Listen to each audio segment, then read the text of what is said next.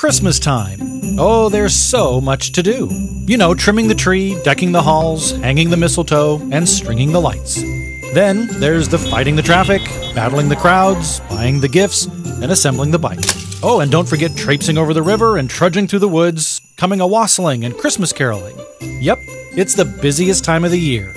But this year, maybe it's time to try something different. Before you do anything else this Christmas, the Ventura County Rescue Mission asks you to open your heart first. What does that mean? It means looking around you and seeing that there are desperate and hurting people who are hungry and in need of food, people who are struggling with addiction and are in need of recovery, people who have no hope and need a Savior.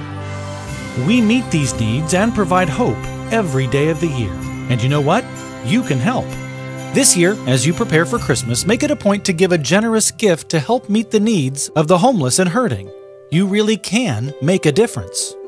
So, this year, before you hang the stockings, wrap the gifts, roast the chestnuts, or send the cards, before you cook the turkey, bake the cookies, burn the gravy, and make the pie, before you decorate the house, make your shopping list, drink the eggnog, or light the Advent wreath, before you jingle your bells, blow your budget, attend the Christmas party, or dash through the snow in your one horse open sleigh, open your heart first.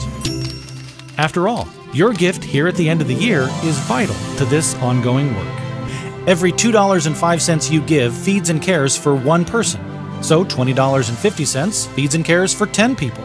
$51.25 feeds and cares for 25 people. You get the idea. So, to make your Christmas and year end gifts to the Ventura County Rescue Mission, click on the Donate Now button or call 805 487 1234. Merry Christmas and Happy New Year from all of us at the Ventura County Rescue Mission.